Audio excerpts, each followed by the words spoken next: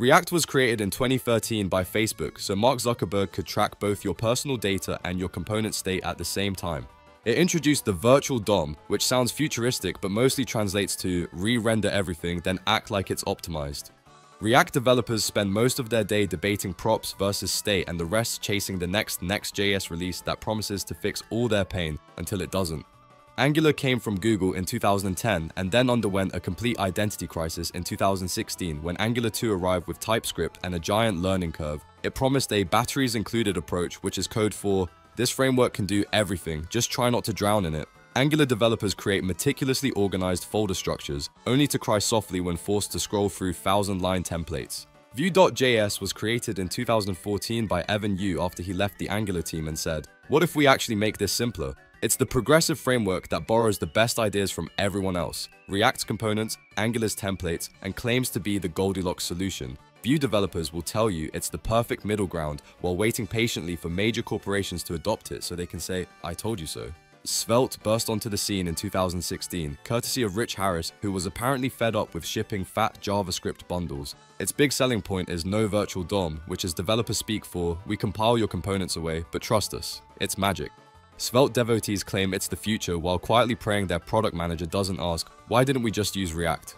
Ember.js was huge around 2011 with a convention over configuration philosophy that basically does everything for you except marketing. People say it's batteries included and ambitious, which might be code for everyone else forgot about it. Who the fuck is that guy?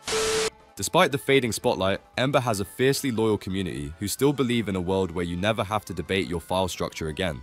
Backbone.js dates back to 2010, a simpler time when jQuery was your best friend and you couldn't imagine needing anything else. It gave us models, views, and routers in a world otherwise ruled by global script tags. Backbone is still lurking in legacy codebases, quietly reminding us that single-page apps weren't always so complicated until React showed up with a million NPM packages. Meteor arrived in 2012 to unify front-end, back-end, and your entire soul under one JavaScript stack. It promised real-time everything out of the box, as if latency had been permanently banished. Meteor still has fans who love the all-in-one approach, but these days it's mostly overshadowed by Next.js, serverless, and whichever new hotness decides to grace us next month.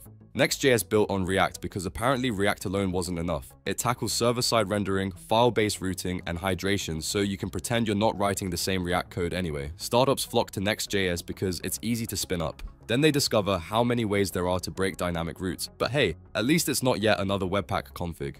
Gatsby is the static site generator that ironically ships a mountain of GraphQL queries just to build your blog. It's all about pre-rendered pages for blazing speed, right up until you install too many plugins and your build times exceed the lifespan of your average Mayfly. Gatsby devs love bragging about how fast their sites load, ignoring the 600 dependencies they had to wrestle along the way.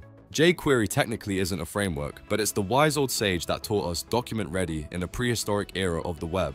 For a while, it was the glue that held the internet together, but now it's mostly found in ancient codebases and the hearts of devs who remember simpler times. jQuery is still around in 2025, quietly powering half your favorite websites while new frameworks appear daily, trying to fix the problems we somehow never solve.